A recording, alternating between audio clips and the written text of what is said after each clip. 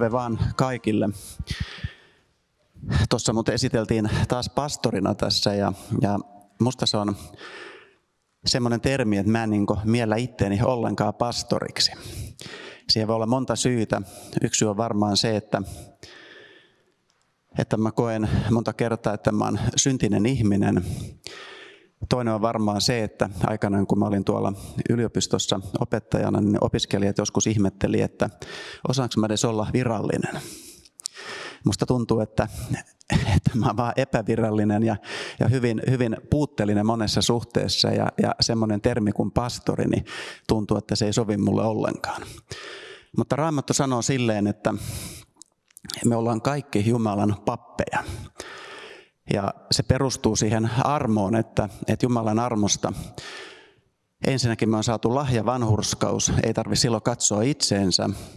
Ja Jumala on vielä luvannut antaa sen ylösnousemusvoiman, jonka turmin me voidaan palvella häntä. Kaikki siis perustuu oikeastaan jonkun toisen tekemään työhön ja sen takia meidän ei tarvitse katsoa itteemme. Mutta mä luulen, että tämä tunne voi olla aika yleinen meillä jos me ollaan ihan rehellisiä, niin, niin äh, tai mä oikeastaan nyt, mä itse jo kerroin, että minusta tuntuu, että mä en ole pastori ja monta kertaa mä koen olevani hyvin puutteellinen ja sitä mä varmasti oon, mutta mä luulen, että se on monien muidenkin tuntemus, että tuntuu, että ei aina oikein ehkä riitä. Ja tota, tähän oikeastaan mun puhe tällä kertaa liittyy. Mulla yleensä ei ole tapana puhua, ottaa niin kuin ikään kuin vanhoja puheita pohjaksi, mutta tällä kertaa mä koin, että mä otin yhden semmoisen puheen, jonka mä oon puhunut joskus keväällä 2017 täällä. En varmaan puhu sitä ihan sellaisena kuin se on, mutta se pohjaan ja se aihe on siinä se. Ja jos mennään tuon puheen juuriin tavallaan, että mistä se siemen aikanaan silloin tuli mun sydämelle, niin elettiin siis kevättä 2017 ja mulla oli sellainen tilanne, että, että mä olin äh, joutunut lähtemään edellisestä työpaikasta toukokuussa 2016 ja, ja sitten erinäisissä tilanteissa Jumala oli johdattanut, että mä olin perustanut oman yrityksen. Mä taisin itse asiassa puhukin tästä sivuta pari kertaa sitten ja, ja tota, keväällä kuitenkin oli semmoinen tilanne, että musta tuntuu, että oli aika ohut se tilauskanta, sanotaan silleen. Ja tuli semmoisia inhimillisiä ajatuksia, että miten mä selviin tästä. Ja, ja sitten mulla oli läheiset, oli sairaana. Ja mulla olisi ollut monta syytä napista ja nupista ja, ja olla epävarma tulevaisuudestani. Sitten yhtenä sunnuntai-aamuna, tai saattoi olla lauantaikin aamu, mutta viikonloppuna kuitenkin yksi uskova soitti mulle ja kertoi, että, kertoi, että hänen elämässä on, hänen se elämä takkua, uskon elämä takkua. Ja tuntuu, että on, on kaikenlaisia ongelmia. Hänelläkin sattuu olemaan siinä sairautta ja, ja kaikenlaisia vaikeuksia. Ja hän purki sitä sydäntään siinä, että miten tämä on tälleen, että miksi tämä homma menee näin? Että eikö Jumala kaikkivaltias ja ja eikö Jumala ole hyvät lupaukset meille ja, ja kuitenkin joskus tuntuu, että me ollaan kovin vajaita tässä. Kuitenkin tuntuu siltä, että meillä on monenlaisia ongelmia. Meillä voi olla itse kullakin terveysongelmia. Nyt jos mä katson teihin, niin täällä on monella maskit päällä, ihan hyvä, mutta tarkoittaa sitä, että korona pyörii ja se asettaa meille uhkan. Mä en tiedä, kuinka moni täällä on työttömänä tai, tai kuinka monella on jotain ongelmia talouden kanssa. Mä tulin tuossa Järvenpäästä, josta mä olin siellä päivällä kokouksessa.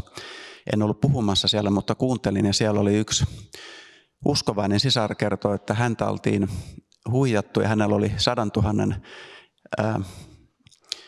euron vastuut sen seurauksena. Meillä voi olla monenlaisia ongelmia, jotka on oikeasti todella isoja ja sellaisia, joihin me ei pystytä itse vastaamaan. Ja ne voi olla täysin meistä riippumattomista syistä. Ja yhtä lailla meillä voi olla syntiongelmia. Voi olla, että me koetaan, että, että synti riippuu minussa kiinni ja me ei aina oikein päästä niin voitolle siitä. Mä muistan aikanaan oli yksi kaveri sanoi, siitä on jo kauan aikaa, että hän ihmetteli jossain rukouskokouksessa, kun joku oli rukoillut siellä, että kaikki menisi hyvin. Sitten hän kertoi, että vähän aikaa sen jälkeen niin hän kohtasi semmoisia elämäntilanteita, että hän hyvin tajusi sen rukouksen. Ja hänkin on ruvennut rukoilemaan, että kaikki menisi hyvin. Kukapa tahtoisi sadan tuhannen euron vastuita päälleen itsestään riippumattomista syistä. Kukapa ei haluaisi olla terve tai kukapa ei haluaisi olla synnin voittaja omassa elämässä. Ja, ja tämä lista on ihan loppumaton. Ja nyt, nyt tietysti voidaan ihan perustellusti sitten kysyä, että jos ja kun Jumala on kaikkivaltias, jos ja kun Jumala rakastaa meitä, jos ja kun Raamattu ilmaisen asian näin, Jumala on antanut Jeesuksen meidän edestä, niin eikö hän antaisi sitä kaikkea muutakin meille? Tähän on ihan raamatun lupaus. Jumala on luvannut kantaa meitä, viedä iankaikkiseen elämään, olla meidän kanssa maailman loppuun asti. Ja silti, silti meillä tuntuu olevan iso joukko vaikeuksia ja asioita, joihin meillä ei ole aina ratkaisua. Niin miten se sitten on mahdollista, että kun Jumala on kaikkea tätä omien sanojensa mukaan ja me uskotaan raamattuun, niin minkä takia näyttää olevan näin? Me voidaan ihan perusteellisesti kysyä sitä. Ja mä uskon, että raamattu antaa siihen vastauksen ja, ja kaikki on ihan hyvin, mutta se ei aina ehkä sovi meidän inhimilliseen ymmärrykseen. Meillä saattaa tulla ajatuksia, että, että se johtuu siitä, että minä en täytä jotain mittaa. Ehkä mulla ei uskoa tarpeeksi, ehkä mä en rukoile tarpeeksi, ehkä mä oon tehnyt silloin sitä ja tätä ja, ja syntiä on omassa elämässä. Meillä voi tulla kaikkia tämmöisiä ajatuksia. Ja tietenkin on totta, jos me on tehty syntiä ja harjoitettu syntiä, tai vielä enemmän, jos me harjoitetaan syntiä, siitä voi olla määrätyt seuraukset. Jos me kieltäydytään rukoilemasta, ja Raamattu kun sanoo, että meidän tulisi rukoilla, että anokaa, niin teille annetaan. Joskus voi olla myös vikaa meissä. Mutta sittenkin, kun me on kaikki tämä tehty omasta mielestään, oltu vilpittömiä, on rukoiltu, on uskottu, on jätetty asiat Jumalalle, on jätetty vielä esirukouksia ja silti tuntuu, että ne vaikeudet pyörii. Niin silloin me tietysti voidaan ihmetellä, mistä on kysymys. Ja tähän liittyy tämä, tämä aihe tällä kertaa. Mä haluaisin ottaa tähän aluksi, aluksi henkilön nimeltä Elisa. Häntä, hänestä kerrotaan muun muassa toinen kuningasten kirja toisesta luvusta sinne 13 lukuun. Tämä on semmoinen mies, jota tietyssä mielessä ihailen. Minusta on kiva lukea raamatun sankareista. Elisa ei ollut ainut sankari. Siellä oli monia sankareita raamatussa ja sellaisia, jotka toimii meille esikuvana. Mutta Elisa oli tietyssä mielessä poikkeuksellinen henkilö. Te muistatte sen tarinan, kun, kun siellä oli profeetta Elia, joka rukoili rukoilemalla, ei satanut kolmeen vuoteen, tapahtui Karmelin ihme ja monia muita asioita. Ja Elia otettiin tulisilla vaunulla taivaaseen ja, ja Elisa oli Elian profeetan oppilas. Ja Elisan unelma oli saada voitelu tuplana, mitä Elisalla oli, Elialla oli. Ja ehtona oli se, että jos, jos Elisa näkee, kuinka Elia otetaan taivaaseen, niin hän saa sen. Elisa oli perään antamaton ja järkähtämätön siinä, ja hän seurasi Elia niin kauan, kunnes se tapahtui, ja hän todella sai tuplavoitelun. Pyhä henki hänen, tuli häneen voimakkaasti. Ja sen seurauksena, jos me seurataan tämän Elisan elämää, niin minä en ainakaan ole löytänyt raamatusta hänelle lankeemuksia. Tuntuu siltä, että se mies ei masennu koskaan, se ei koskaan väsy ja se tekee aina kaiken oikein. Ja jos me katsotaan, millainen karismaatikko, me pannaan tämä lainausmerkkeihin, lainausmerkkeihin, mutta hän oli sen aikansa karismaatikko. Se mies herätti kuolleita, hän irtosi Jumalan hengen vaikutuksesta ruumiistaan hän pystyi näyttämään palvelijalle näkymättömän maailman, vaan että hän pyysi, että Herra avaa tämän silmät. Tuntui, että se mies eli täysin toisenlaisessa maailmassa kuin mitä me. Hän eli Jumalan lähellä, oli Jumalan voitelema ja onnistui ja voitti. Ja aikanaan meni taivaaseen. Miten tämä kaikki oli mahdollista? Nyt me äsken aloitettiin tämä puhe sillä, että jos me katsotaan itteemme ja toisiamme, niin monta kertaa me huomataan, että me ollaan kovin vajaita ja riittämättömiä. Ja Elisasta tulee täysin toisenlainen kuva.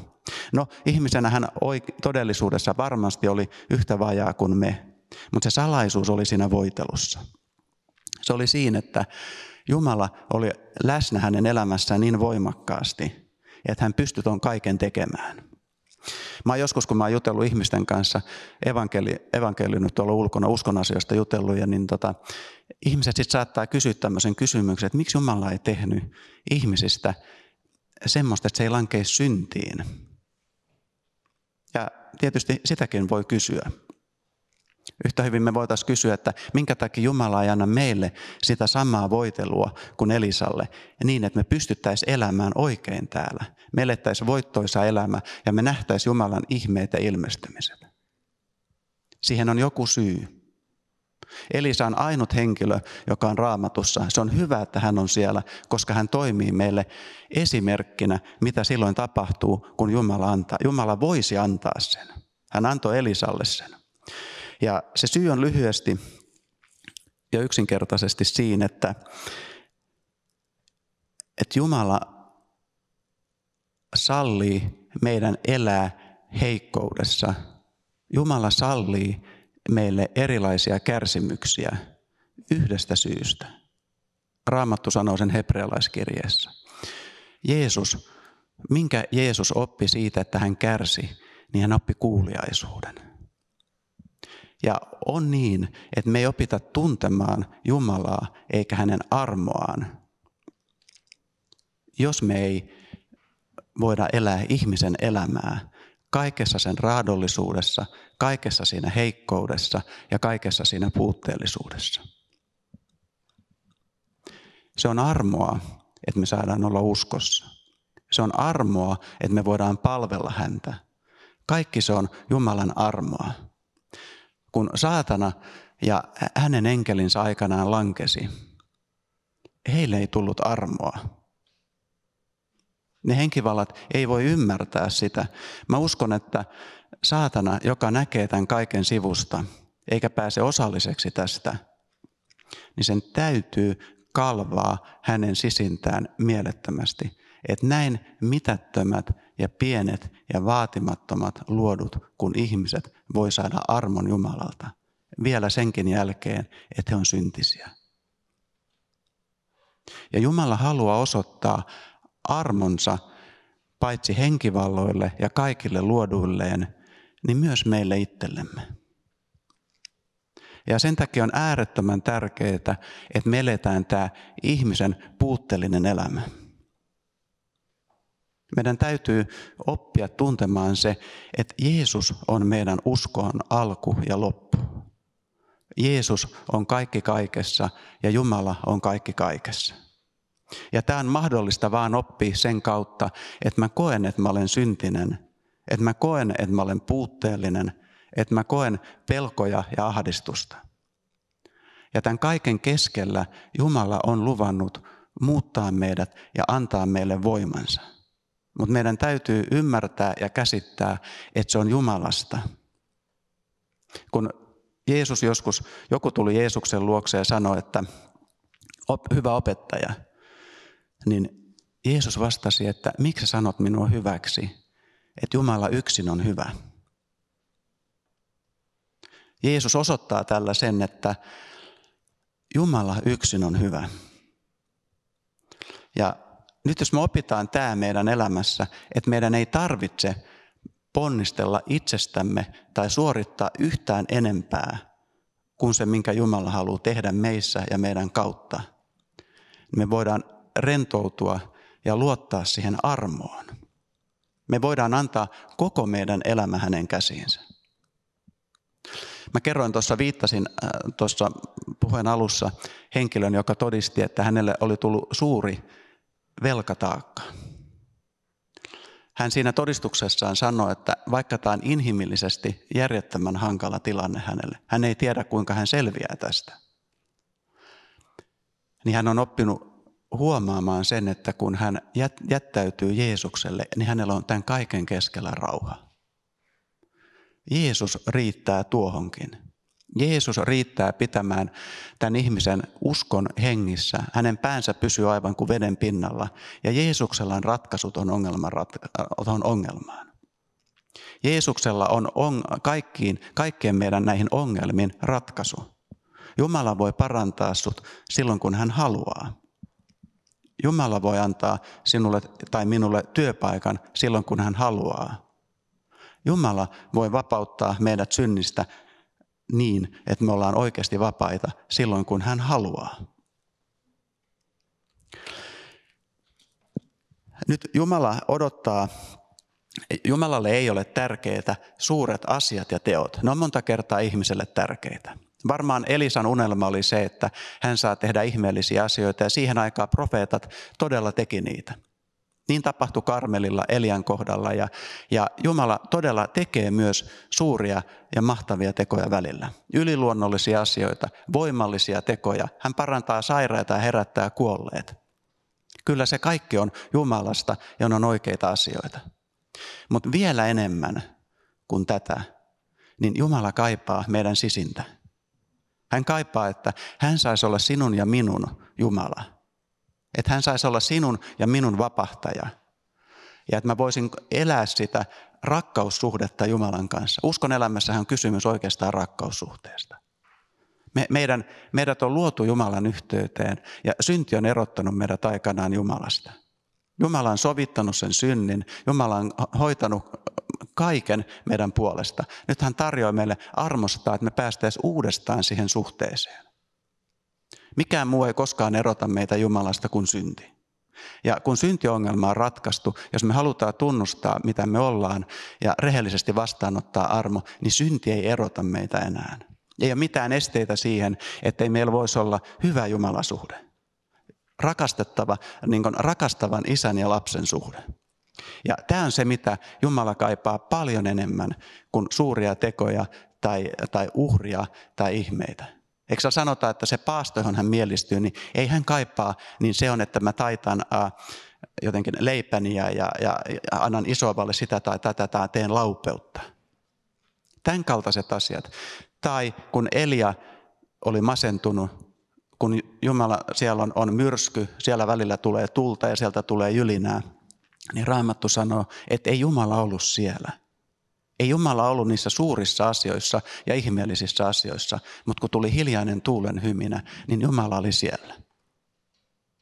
Ja nyt tämä mahdollistaa sen, että kun Jumala on tämmöinen kuin hän on, ja hän tarjoaa meille tätä armoa, niin ihmisestä riippumatta me voidaan olla tässä mielessä Jumalan sankareita. Ja tämä on se tärkeä asia, mikä meidän varmasti tulisi oppia tässä uskon elämässä. Me monta kertaa luetaan raamatusta sankareista, me luetaan apostoleista, jotka teki ihmeitä ja, ja näistä asioista. Ne kertoo vaan joidenkin ihmisten elämän jostain pienestä ajanjaksosta, niistä highlighteista, huippukohdista heidän elämässään. Ne on tarpeellisia, koska Jumala on yliluonnollinen, mutta me monta kertaa unohdataan, että ne ihmiset oli yhtä vajaita kuin me Raamattu sanoi, että Elia oli yhtä vajavainen kuin me, ja hän rukoili rukoilemalla, eikä satanut kolmeen vuoteen. Ne oli yhtä vajaita kuin me. Ja silti he eli täydellisen elämän tässä suhteessa. He olivat tietysti epätäydellisiä. Ja, ja jos me katsotaan Jeesuksen elämä, niin Jeesuksen elämästä, valtaosa mitä tämä raamattu kertoo, niin se kertoo hänen viimeisestä noin kolmesta vuodesta. Mutta Jeesus todellakin eli 33 vuotta. 10 prosenttia siitä elämästä oli sitä, kun häntä käytettiin erityisesti. Mutta koko hänen elämänsä, se 33 vuotta, tähtäisi siihen, että hän sovittaa, että hän on viaton ja synnitön. Hän eli siellä arjessa normaalia elämää täydellisesti Jumalan tahdossa. Hän ei tehnyt virheitä siellä ja se oli arvokas. Itse asiassa se oli ehto, että hän pystyy sovittamaan meidän synnit. Se oli arvokas. Ja tämä ei taaskaan tarkoita sitä, että ne muut asiat ei olisi arvokkaita, mutta arvokkain asia on löytää se yhteys Jumalan kanssa, elää arjessa Jumalan yhteydessä ja oppia ymmärtämään, että kaikki on aivan valtavan hyvin, kun mä oon tänään yksinkertaisesti uskossa, toteutan raamattua omassa elämässäni ja seuraan Jeesusta. Mulla on kaikki. Jumala on sanonut, että hän pitää huolta minusta. Ja kaikki ne mun pienet ongelmat, tai niin kuin Paavali sanoi, se kevyt ahdistus, jossa me ollaan, se ei ole mitään verrattuna siihen kirkkauteen, mikä on ilmestyvä. Me tarvitaan näitä vaikeuksia. Jeesus on siitä paras esimerkki.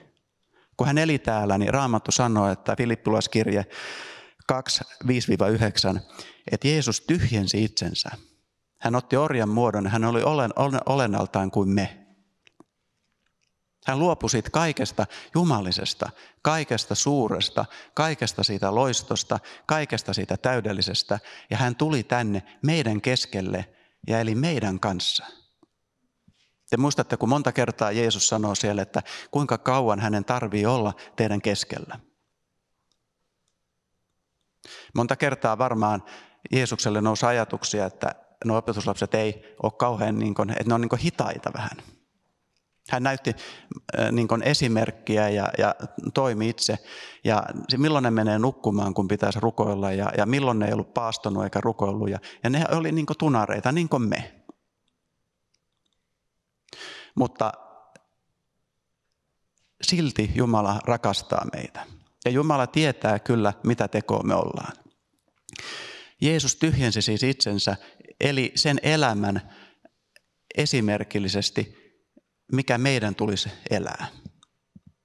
Jeesus sanoi, että hänen ruokansa on se, että hän tekee lähettäjänsä tahdon. Ja meidän unelma tulisi olla se, että me tehdään Jumalan tahto. Elisan kohdalla se on, hänen unelma oli, että hän saa voitelun. Ja se oli Jumalan tahto varmasti Elisan kohdalla. Mutta vaikka se ei olisi semmoista suurta tai ihmeellistä, niin mulle tulisi riittää se, että mä olen uskovainen mulla on iänkaikkinen elämä ja mä toteutan sen raamatun ja sen kutsumuksen omassa elämässä, kun Jumala on antanut. Se on, sehän on Jumala, joka tekee ne teot. Sehän on, oli Jumala, joka, pyhä henki, joka vaikutti Jeesuksessa. Sehän on Jumala ja pyhä henki, joka vaikutti opetuslapsissa. Ne on kaikki Jumalan tekoja, ne ei ole meidän tekoja. Ei Jumala ihaile omia tekojaan. Ne on hienoja asioita.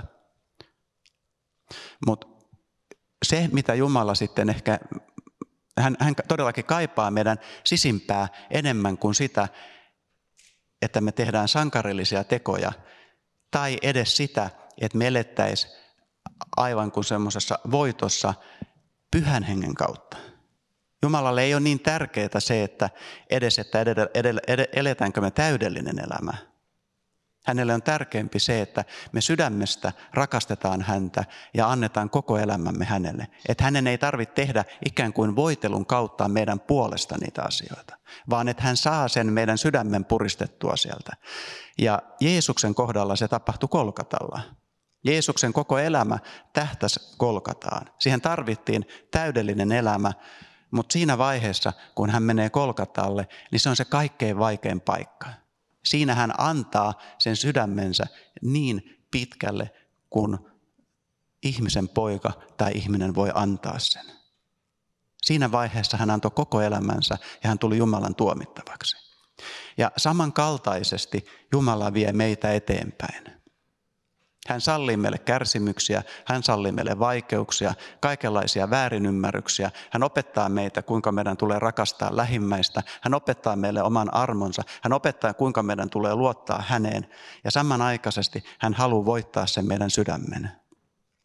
Ja niin pitkälle, kun me suostutaan antamaan itsemme hänen käsiin. Jeesuksesta sanottiin, että hän antoi itsensä niin kuin karitsa, joka ajavaa suutaan. Hän allistui täysin siihen, mitä Jumala oli suunnitellut ja, ja Jumala oli varannut.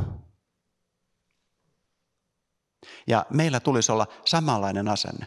Silloin kun me annetaan itsemme ja suostutaan hänen teihinsä, niin hän onnistuu meissä. Hän voittaa meidän sydämen ja tämä on se, mihin Jumala tähtää. Jos me katsotaan raamattua, niin läpi raamatun historian kaikissa Jumalan sankareissa ja, ja kaikissa persoonoissa Jumalan tavoite on sama, voittaa meidän sydän. Se oli Abrahamissa. Abraham sai hienot lupaukset. Hänen unelmansa oli saada Iisak, ja hän sai sen. Monien vaikeuksien kautta 25 vuoden odotuksen jälkeen Abraham sai Iisakin. Mutta se ei ollut Jumalan unelma. Jumalan unelma oli saada Abrahamin sydän ja siksi hän pyysi Iisakin pois häneltä. Eihän Jumala halunnut, ei Jumala tarvinnut ihmisuhria. Mutta siinä kohdassa, kun hän pyytää, että Abrahamin tulisi uhrata Iisak, ja kun Abraham siihen suostuu hetkeäkään epäröimättä, niin se oli arvokas asia Jumalalle. Jos sinä tai minä, me ollaan valmiit hetkeäkään epäröimättä antamaan ne asiat pois, jos Jumala vaatii, niin se on arvokas asia.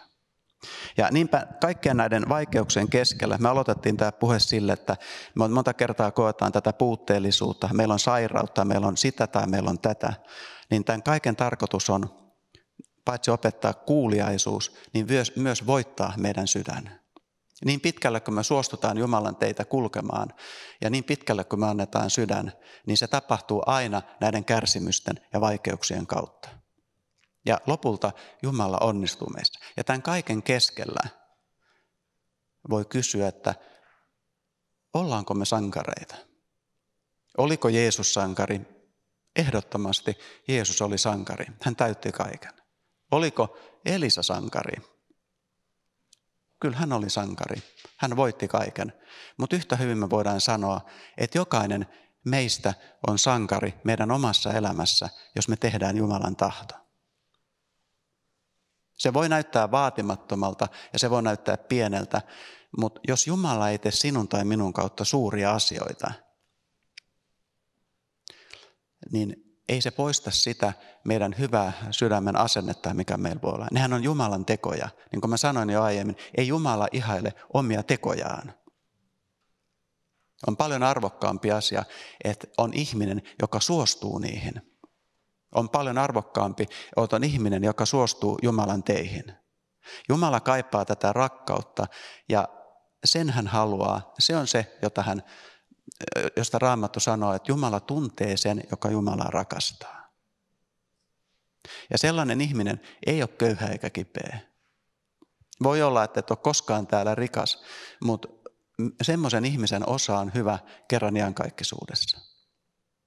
Semmoinen ihminen saa täällä oikeasti hyvän elämän. Edelleenkään, edelleenkin voi olla, että et ole rihas tai ihailtava tai, tai ettei yhtään ihmettä julkisesti, niin sulla voi olla äärettömän hyvä elämä. Se on sen Jumalasuhteen kautta, mikä sinulla on.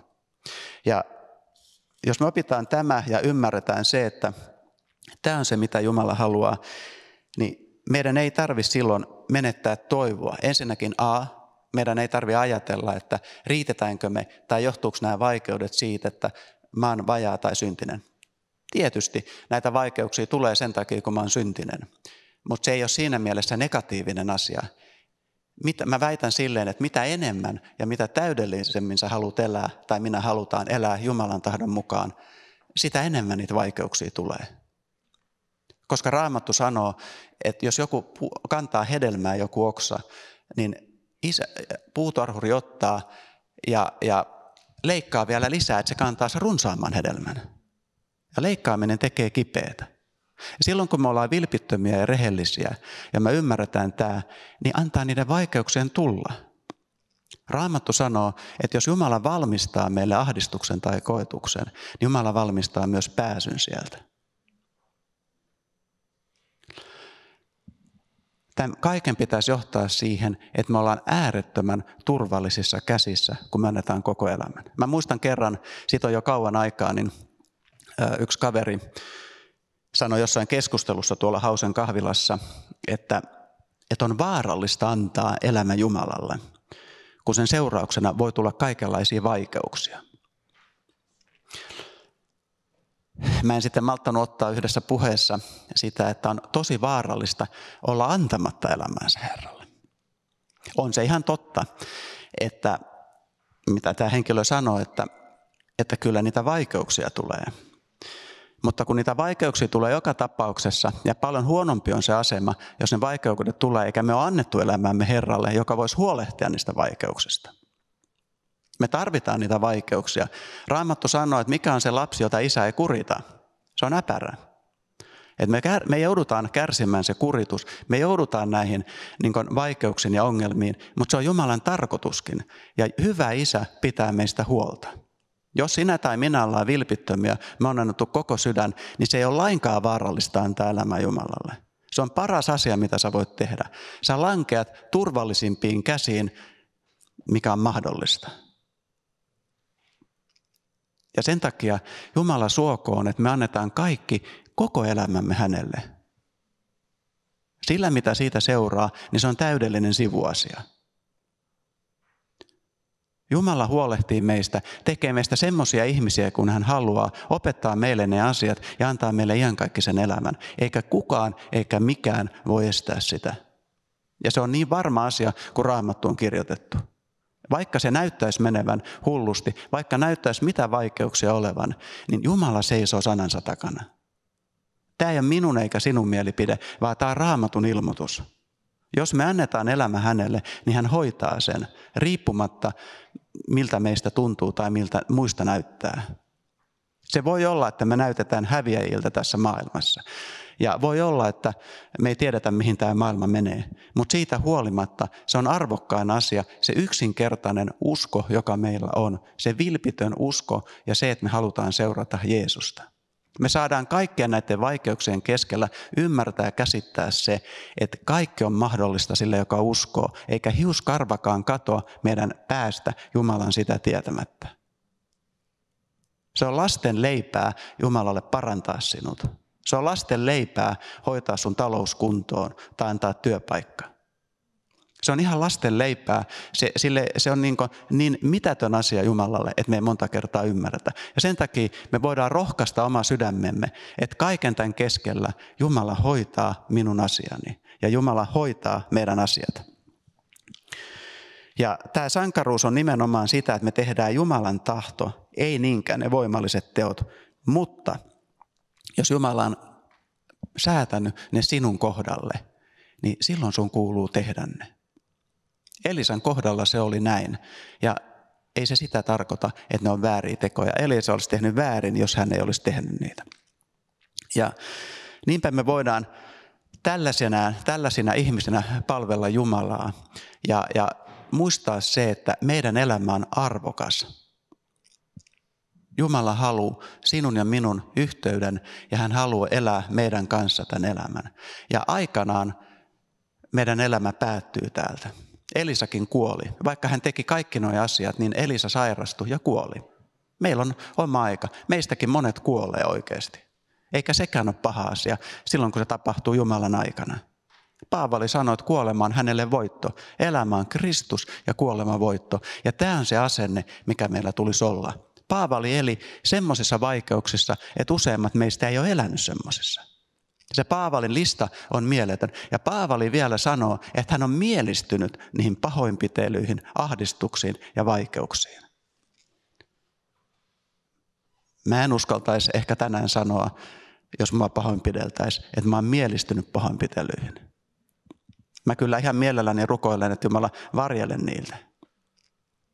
Eiks vaan?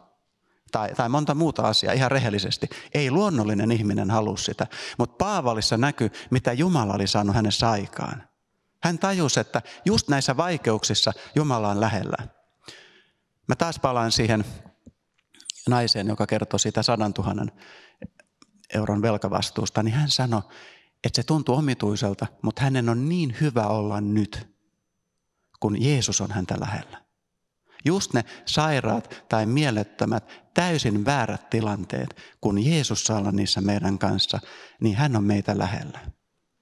Ja sen takia Jumala suokoon meille itse kullakin rohkeutta kohdata tämä elämä, muistaa se, että ei tarvi epäillä sitä omaa tilansa, kun me ollaan vilpittömiä ja rehellisiä. Ei tarvi napinoida eikä kapinoida, eikä tarvi yrittää päästä pois niistä vaikeuksista, vaan pyytää voimaa elää niiden läpi. Paavali on minusta hieno esimerkki siitä, että kaikkien näiden vaikeuksien jälkeen, kun hän kasvaa, niin, niin kaksi viimeistä vuotta hän sai elää kenenkään häiritsemättä. Tuntuu, että Jumala näyttää, että tämäkin on mahdollista hänelle. Se Paavali, joka oli monta kertaa kuoleman vaarassa, vaikeuksissa, kaikissa ahdistuksissa, oman, hänellä oli piikki lihassa ja, ja kaikenlaisia ongelmia, niin lopulta saa elää kaksi vuotta rauhassakin. Ja sitten hän kuolee lopulta marttyyrikuoleman. Ilmeisesti perimätiedon mukaan Rooman vainoissa. Niin tämän kaiken keskellä me saadaan nostaa päämme ja elää rohkeasti tämä elämä ja luottaa siihen, että Jumala hoitaa meidän asiat. Ja se helpottaa hirveästi meitä, jos me voidaan uskoa siihen, että kaiken tämän keskellä Jumala onnistuu sinussa ja minussa. Mun ei tarvikaan päästä niistä ikään kuin vapaaksi, että mä olisin onnellinen. Niin kauan, kun nämä vaikeudet ja ongelmat tekee työtä meissä, niin antaa niiden tehdä. Annetaan Jumalan hengelle tilaa ja annetaan hänen saada meissä muoto niin, että tämän kaiken keskellä me voidaan sanoa, että me ollaan onnellisia tänään. Meillä on iankaikkinen elämä ja me tiedetään se, että Jeesus vie meidät voittoon. Mikään tai kukaan ei pysäytä minua Jeesuksen tähden. Sä voit sanoa itsellesi niin kauan, kun saat vilpittömästi. Mikään tai kukaan ei voi pysäyttää Jumalan suunnitelmaa sinussa, jos sä olet avoin Jumalalle. Ihmiset voi yrittää sitä, saatana varmasti yrittää sitä. Sun liha on heikko, etkä sä itse koskaan tule pystymään siihen. Mutta jos sä luotat siihen, että se onkin Jeesus, joka onnistuu sinussa.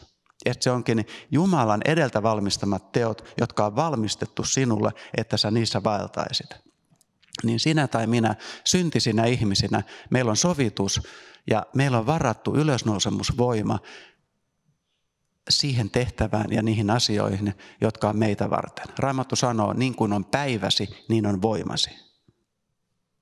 Jumala on varustanut ja hän haluaa varustaa meidät ja haluaa, että me voitaisiin elää siinä ilossa, joka huutaa Appa Isä.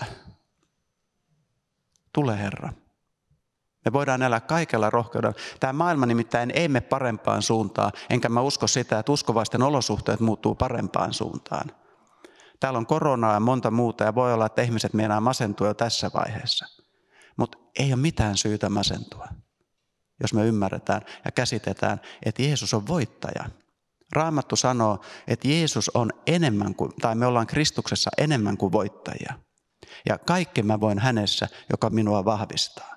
Tämän sanoo mies, joka oli huomattavan ahdistettu Paavali. Kaikkeen vaikeuksien keskellä.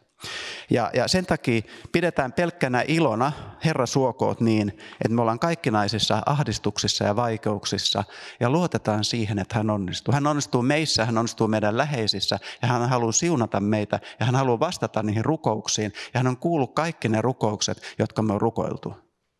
Ne on Jumalan edessä ne rukoukset. Odottaa vaan, että jos et ole vielä saanut vastausta, niin milloin hän vastaa. Jumala ei puhu tyhjiä, ei, eikä hän ole semmoinen Jumala, jonka kädet olisi liian lyhyet auttamaan tai korvat kuulemaan. Jumala on se hyvä isä, joka haluaa antaa meille hyvää, jos me pyydetään hyviä asioita. Raamattu sanoo, että jos me pyydetään munaa häneltä, niin hän ei anna käärmettä tai skorpionia tai miten se on annettu. Hän antaa meille pyhän hengen ja hän antaa meille voiman jokaiseen päivään. Ja, ja me saadaan luottaa siihen, että karitsa veri riittää sitten niihin meidän synteihin. Meidän ei tarvitse niitäkään katella. Nämä Jumalan sankarit, joista me puhuttiin, niin lähes poikkeuksetta ne muni siellä hommia. Ne teki virheitä ja ne teki syntejä enemmän tai vähemmän, ja silti ne oli Jumalan sankareita. Silti Jumala saattaa sanoa Daavidista, että tämä mies on Jumalan mielenmukainen mies, vaikka hän lankesi syntiin. Kyllä me tehdään virheitä. Joku on joskus sanonut, että hän sanoi, että minä olen virhe. Mä voisin sanoa, että minä olen virhe. Jos se jäisi niin minusta kiinni, niin kaikkihan menisi pieleen. Onneksi tässä on Jeesus ja onneksi on anteeksantamus. Onneksi on armo ja onneksi me voidaan pyytää toisiltamme anteeksi ja antaa anteeksi. Ja Jumala tekee meistä kykenevän vielä antamaan anteeksikin.